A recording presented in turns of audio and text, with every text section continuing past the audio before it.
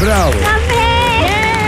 Cristóbal González, Vera Paulova al piano. Gracias, maestra.